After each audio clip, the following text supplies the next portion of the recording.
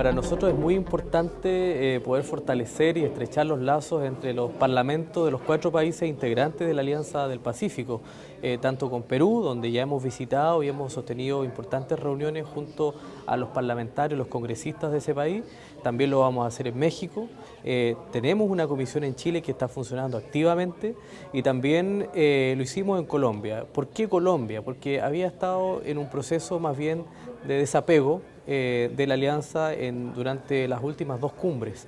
Y por eso era muy importante para nosotros que Colombia pueda tomar un rol protagónico, como ha sido un rol histórico que ha tenido Colombia en el fortalecimiento y en el futuro de eh, la Alianza del Pacífico. Nosotros sostenimos una importante reunión con eh, los parlamentarios de Colombia, tanto senadores como diputados, con la finalidad de integrar a Colombia de manera permanente y principalmente activa, porque Colombia es parte de la Alianza del Pacífico eh, y siempre históricamente tuvo un rol activo. Sin embargo, los últimos dos encuentros del CISAP ellos no han participado como nosotros quisiéramos. Y, ciertamente este, esta, esta reunión que sostuvimos busca que Colombia tenga un rol preponderante, tomando en cuenta que ellos eh, les corresponde el próximo año asumir la presidencia pro tempore también y la coordinación parlamentaria de los cuatro congresos que integran esta alianza, tanto con México, Perú, eh, Colombia y Chile.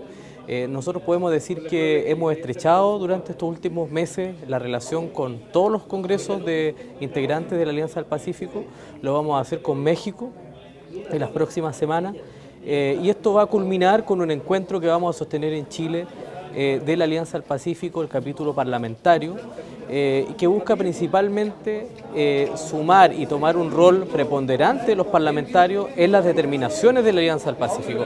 O sea, ahí está el sentido de por qué hacemos todo esta, este fortalecimiento y esta relación con los parlamentos de los cuatro países.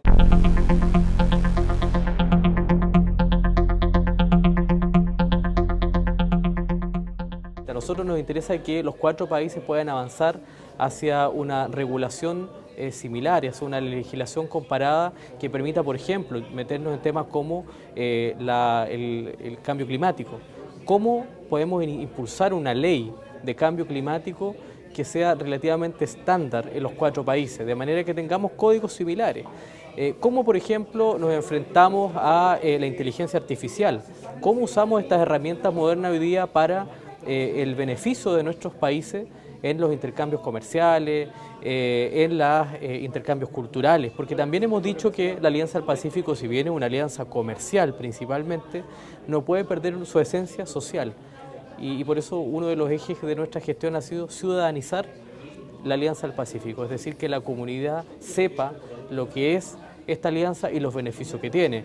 Eh, es una de las principales eh, alianzas económicas del mundo, la sexta economía más importante del mundo que agrupa estos cuatro países y que tiene mucho interés de otros países por integrar. Viene próximamente eh, la integración que nosotros esperamos de Ecuador, por ejemplo. Entonces, y vemos muchos países interesados en poder sumarse a este trabajo que estamos haciendo desde la Alianza del Pacífico. ¿Y por qué también es importante esta relación del fortalecimiento de los congresos? Porque permite que cuando los acuerdos que establecen los gobiernos en materia de eh, intercambio comercial, de relaciones comerciales y económicas de los cuatro países integrantes de la Alianza del Pacífico, cuando se resuelvan estos temas en, el Congreso, en los plenarios, no se transforme en una situación que se mezcle con la política contingente. Hay que entender que estos son temas de Estado. Y aquí tienen que estar todos los actores políticos comprometidos para apoyar cada uno a sus países, es decir, cada Congreso tiene que apoyar a sus gobiernos y a sus países para que los acuerdos en materia económica, social y cultural, este intercambio que ha permitido la Alianza del Pacífico, pueda proyectarse en el tiempo.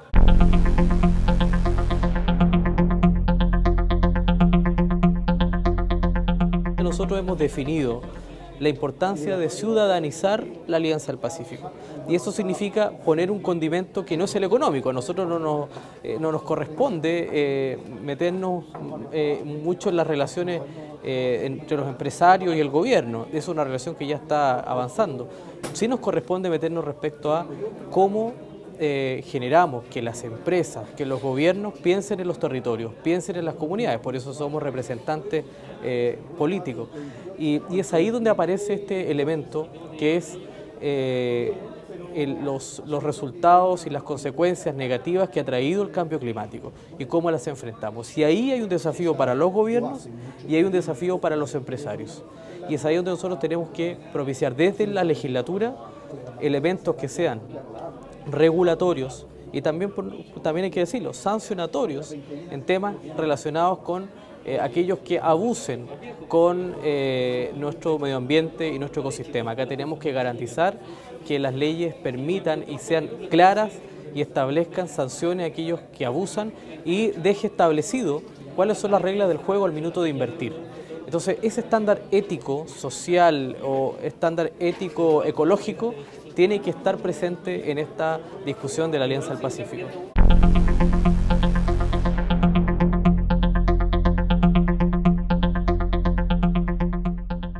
Nosotros entendemos que la Alianza del Pacífico por sí sola eh, no, tiene un, futuro provisorio. Eh, y esa es la verdad eh, del intercambio comercial del mundo. Hoy día está, está claro que la clave del éxito es las relaciones comerciales con los diversos bloques comerciales del mundo. Nosotros tenemos una relación bastante estrecha con el expresidente Eduardo Frei Ruiz Tagle, quien fue presidente además de la, de la CISAP y que fue el creador, impulsor de esta organización eh, y que hoy día nos, está ayudando en esta relación estrecha con eh, el Asia-Pacífico como país y por supuesto que nosotros hoy día hemos reforzado la conversación con él para que el Parlamento y esta alianza no pierda la proyección hacia ese importante mercado. Para China, eh, Chile es el tercer socio comercial más importante de Latinoamérica. Por lo tanto, es muy importante, solamente con uno de los integrantes, el gigante asiático, eh, ya vemos la relación importante, por lo tanto tenemos que propender a fortalecer esta relación comercial y por supuesto eso le da seguridad y estabilidad a nuestra economía en materia de la diversificación de la inversión y por supuesto de eh, mejorar principalmente las condiciones de vida de nuestras comunidades, que es lo, más importante. Pero todo esto tiene que tener códigos éticos, límites éticos, y por eso hemos dicho que tenemos que ser enfáticos en trabajar desde los parlamentos regulaciones en lo que se refiere a cambio climático, a la inteligencia artificial, a la automatización del trabajo, en fin, son desafíos que se nos vienen a nuestros parlamentos y es ahí donde tenemos que tener una comunicación común, fluida, por lo menos inicialmente entre los cuatro países de la Alianza del Pacífico, para poder eh, imponer estos límites éticos también al mundo empresarial y al mundo político desde los gobiernos, que son los que hasta hoy día han llevado más bien esta conversación.